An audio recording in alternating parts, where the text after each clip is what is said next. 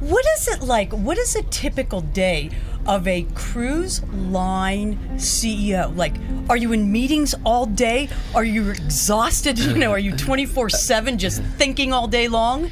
Uh, Should I make up an answer that makes it sound like I'm like that? well, actually, I, one of the things I'm, i take pride in is, is surrounding myself with good people who make very good fundamental decisions.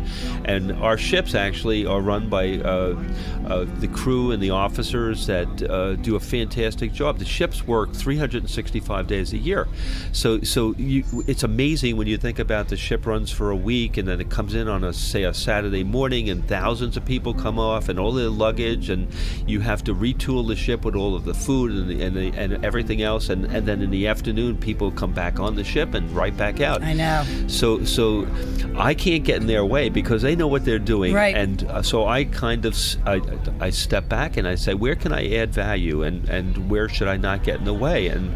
Uh, there's a lot of opportunities to do things that are smart uh, that may not have been thought of in the past, and uh, so that's more my focus. And uh, the market positioning, which we've done a lot of work on, trying to st- uh, show the marketplace who we are. As we used to market and say we're not what everybody else is, and you know when you have a lot of people that are new to cruising, they don't know what that means. So we now our tentacles are freedom and flexibility and what we stand for. And I think when people see our differentiated message, they'll understand that, and that'll help go a long way to get bring many new people into the into the product.